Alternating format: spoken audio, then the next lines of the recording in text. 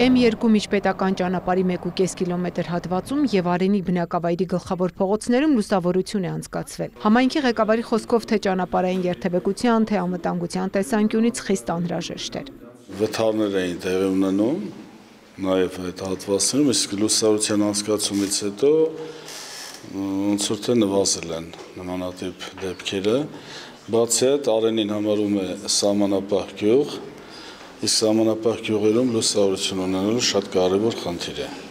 որով լուծվեց։ Լուսավորությունն անցկացվել է Եմեն հանուն երկխոսության, աջակցություն հարավային Կովկասում եւ Մոլդովայի հանրապետությունում ծրագրով ֆինանսավորվող Պարքևիր արև նախագծի շրջանակում։ Սահակյանը հույս ունի ծրագիրը շարունակական կլինի եւ կարդիականացվի նաեւ համայնքի մյուս բնակավայրերի լուսավորության համակարգը։ Վայոց ձորի մարզային երիտասարդական կենտրոնն այն 100 հասարակական կազմակերպություններից մեկն է, որը Corner Business պլատֆորմի կարողությունների զարգացման ծրագրով ստացած դրամաշնորհով համայնքում անցկացրել է լուսավորություն տեղադրվել են հենասյուներ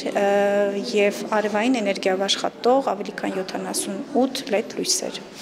Նաև ծրագրի շրջանակներում իրականացրել ենք սեմինարներ կանաչ էներգիա խորագրով Արենի համայնքում բնակություն հաստատած արցախցիների, զբոսաշրջությամբ զբաղվող երիտասարդների, կանանց եւ համայնքային աշխատողների համար։ Ավականու անդամ Արմենուհի Ծատուրյանի խոսքով նախագիծը համայնքում ոչ միայն սոցիալական խնդիր է լուծել, այլև տնտեսական, քանի որ խնայված գումարներն ուղղելու են համայնքի խնդիրների լուծմանը։ Արդեն փորձում ենք բավականին արդյունավետ օգտագործել բնության ուժը, ներուժը, այսինքն էկո համայնք դարձնելով փորձում ենք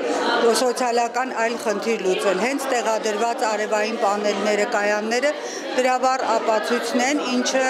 բնակչին եւ տնտեսական եւ սոցիալական որոշակի խնդիրների լուծում է տալիս։ Ծրագրով Corner Business պլատֆորմը կազմակերպել է համայնքային քննարկումներ, հատուկ ուշադրություն դարձրել վերականգնվող էներգիայի խնայողության շնորհիվ համայնքային բյուջեների կազմմանը, համայնքում էլեկտրական հովիվների կառավարմանը եւ ֆինանսական ռեսուրսների բաշխմանը։ Ծրագրի շրջանակում աշխատում ենք նաեւ այլ մարզերի հետ, ընդհանուր մեր շահառուները